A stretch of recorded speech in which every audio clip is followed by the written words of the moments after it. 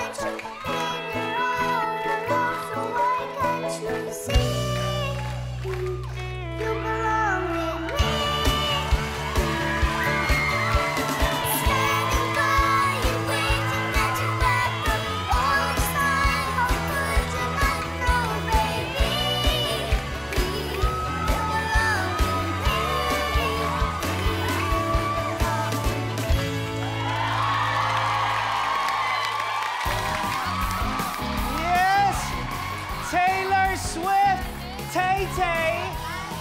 are you, Tay Tay?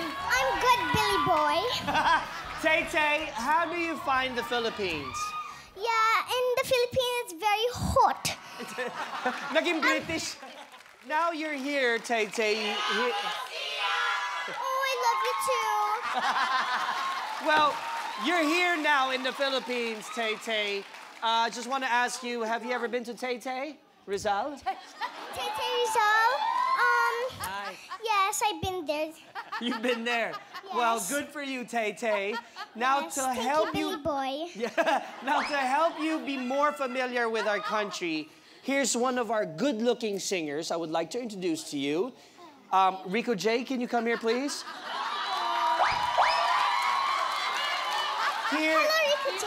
this Rico J, this is uh, Taylor Swift. Taylor Swift, this is Rico J. He is the what we call macho guapito here in the Philippines. Hello, Macho guapito.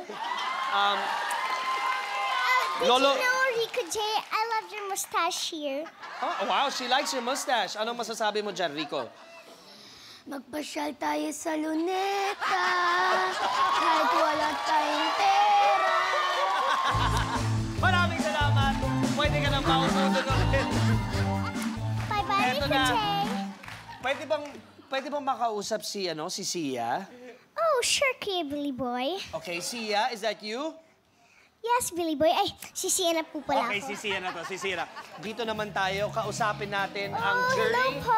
Ano kaya ang masasabi nila sa iyong performance? Umpisan natin kay Ate Shawi. Oh my goodness, Sia!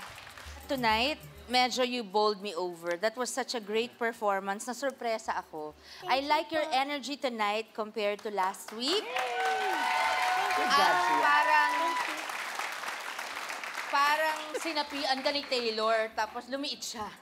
You're beautiful. You you kind of look like her, and you moved like her. You really made an effort to be Taylor Swift tonight. and you I love that. I love that. I love that about you. There's something about you, darling, that's so special. And Thank you po. I'm, I'm looking forward to the coming weeks to see ano pang gagawin mo. Pero this performance was awesome. Awesome, Taylor Swift. Thank you po. Thanks, Ate Shawi. Ito naman, pakinggan natin ngayon. Kuya Gary.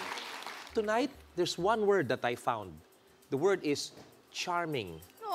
Okay, hindi ko na hindi ko na kailangan i-explain 'yan. Okay, pag uwi mo mamaya, you ask your mom what charming is and I'll tell you. She'll say, "Oh, that's very easy to say. That's easy, very easy to describe, Sia." The meaning of charming is Sia. You. Charming. Excellent, excellent performance. Uh, you had fun and I hope na makita namin na nag enjoy ka pa rin sa mga darating na linggo. Thank Okay? you po, Kuya Gary. Thanks, Kuya Gary. Ito naman pakinggan natin, Kuya Ogie. Siya. Sa Tagalog siguro talagang kasiya-siya kang panoorin. kasiya-siya. Galing po nun, ah. Oo nga eh. In fairness, Nagalingan siya. Naaliw siya sa'yo. Kasi po nakaisip po kayo agad ng ganong word, eh. Di ba? Ang bilis niyo po.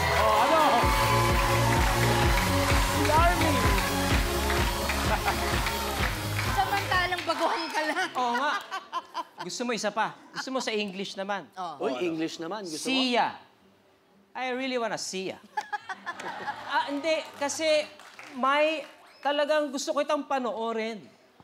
Your outer eye? O yung outer eye ko, gusto ko talagang pan- yung performance mo, hindi hindi ako na bore. Talagang gustong gusto kita panoorin. You you were a showstopper. Ang galing mo. Congratulations. Wala kaming Thank you masabi. Thank you so much, Jerry. Sia, congratulations. Palapakan nyo naman, mga kapamilyas.